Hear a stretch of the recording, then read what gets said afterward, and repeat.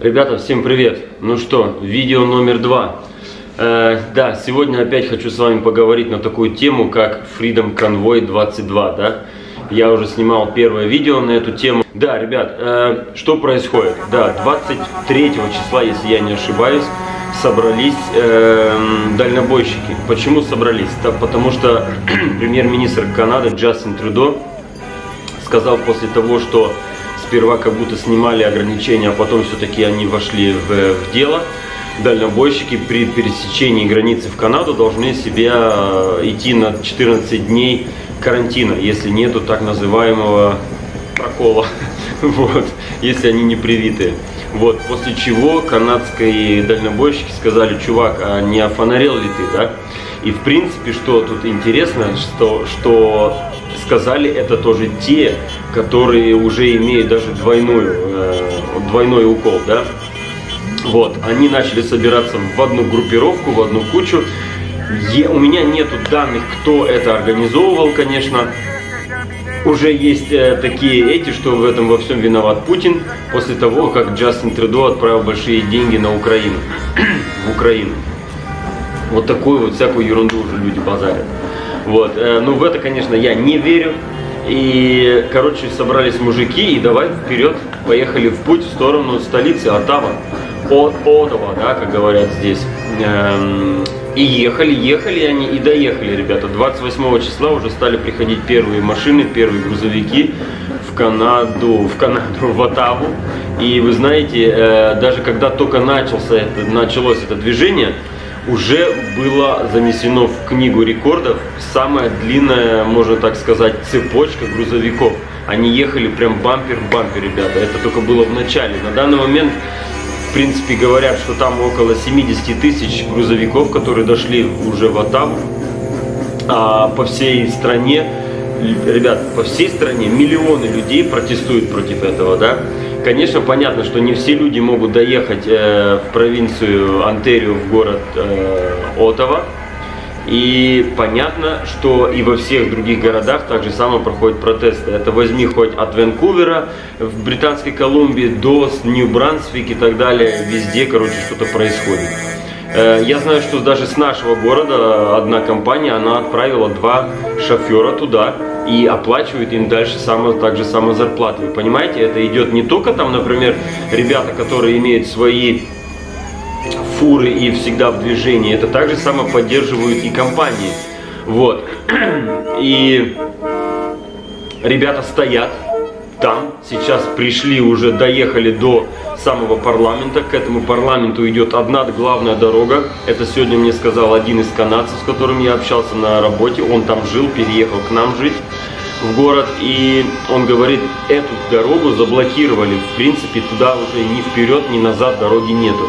Что сказал наш... Э, наш так называемый король, как он себя тут тоже считает, что это маленькая группа людей, которую мы, как канадцы, не поддерживаем и будем на нашем дальше стоять праве. И я вас э, уверяю, вам надо всем проткнуться, и чем больше, тем лучше.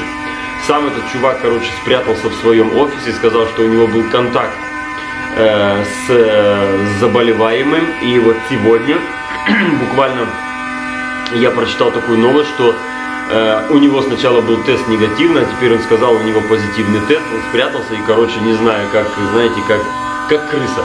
Как крыса просто спрятался в какие-то свои норы, э, как будто в канализации где-то там, и от него ни слуха, ни духа. Короче, чувак очень такой мутный и очень странный. Понятно, что многие люди так же само говорят, и даже те, которые постуют, они так же само говорят, что это не от него все идет, понимаете, это идет от каких-то там высших умов, да, которые имеют какой-либо там план.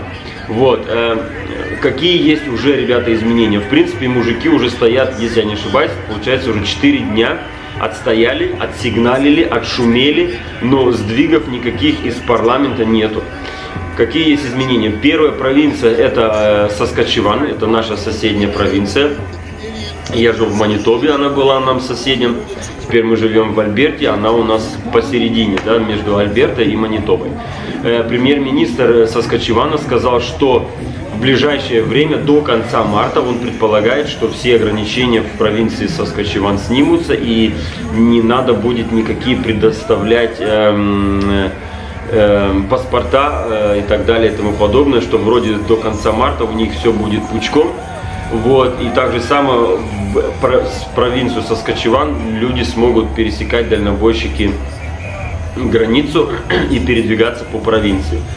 Насколько это сейчас как бы или шаг, э, знаете, как шаг конем, или как это там правильно говорится, или это просто сейчас вылезти из этой ситуации и просто под, оставить подогретую свою жопу э, со стороны премьер-министра Соскочевана, чтобы не его, можно так сказать, не уволили с работы, его не, не, не снесли, фу, не снесли ему башню, а типа, ребята, давайте-ка я что-то ляпну, чтобы у нас уже были какие-то там спокойствия и так далее и тому подобное, чтобы люди не сходили с ума, да. Ну, в принципе, при всей этой забастовке на данный момент никто с ума не сходит. Э, вы знаете, нация канадцев – это очень друж, дружная вообще и, и, скажем так, мирная нация, да, это не имеет значения канадец, который его бабушки и дедушки сюда эмигрировали когда-то, когда, вот, между прочим, я вот узнал, у меня сосед тоже немец, фамилия Шефер, этих ребят, э, внучка здесь живет, этих людей, они когда-то, ее деды, бабушка и дедушки сюда эмигрировали с Германии.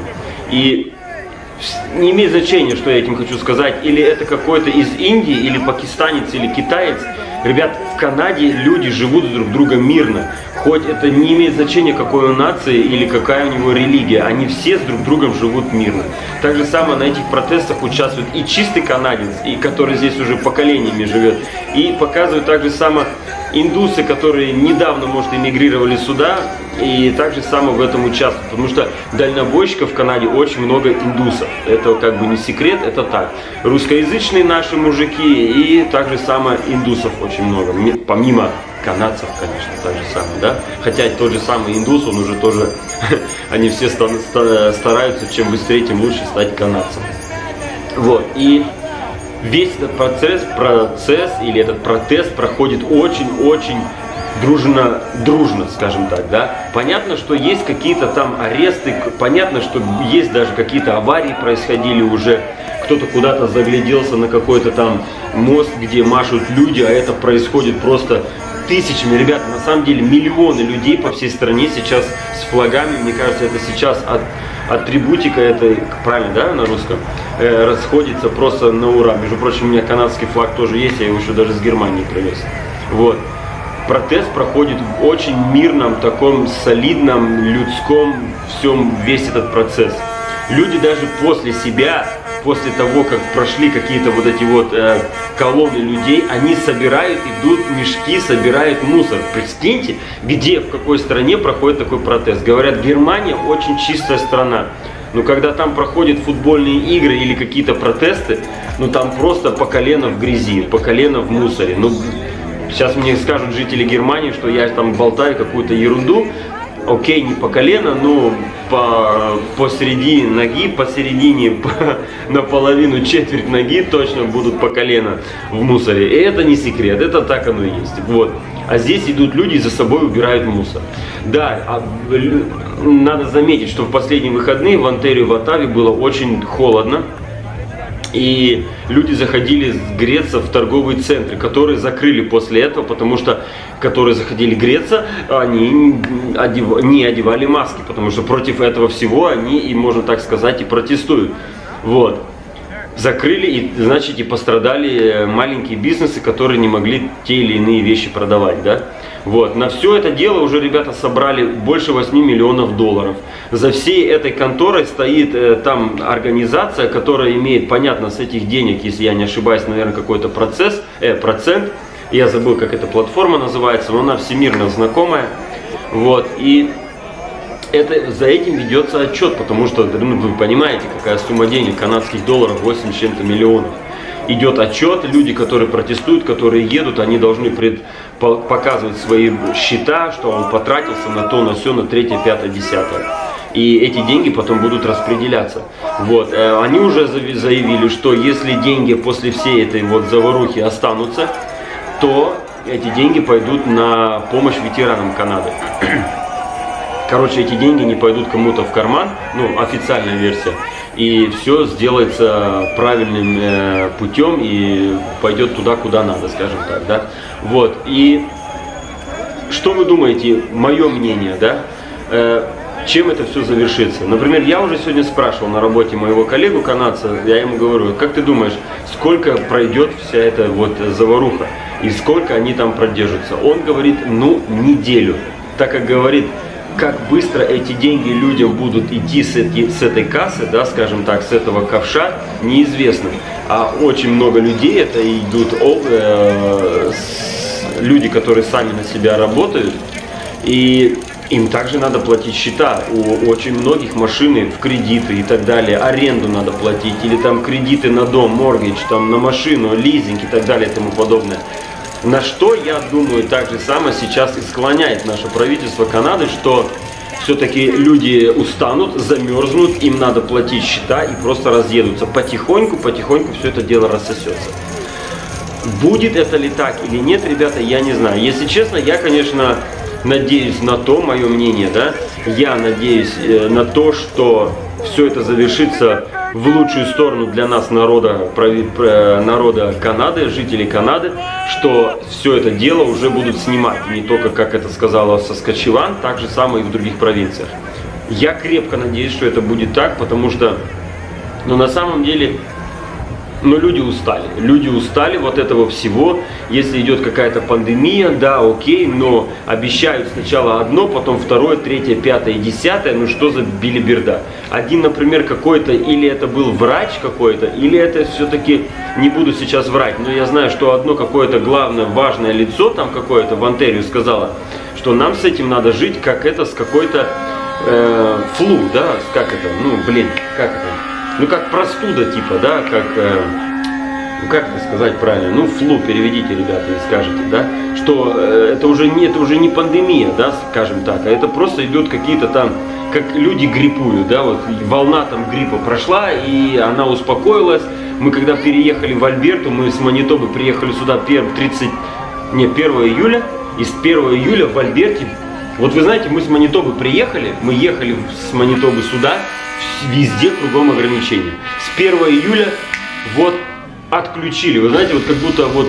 выключатель включили, выключили. С 1 июля здесь сняли в Альберте абсолютно все. Мы жили здесь до середины сентября, если я не ошибаюсь.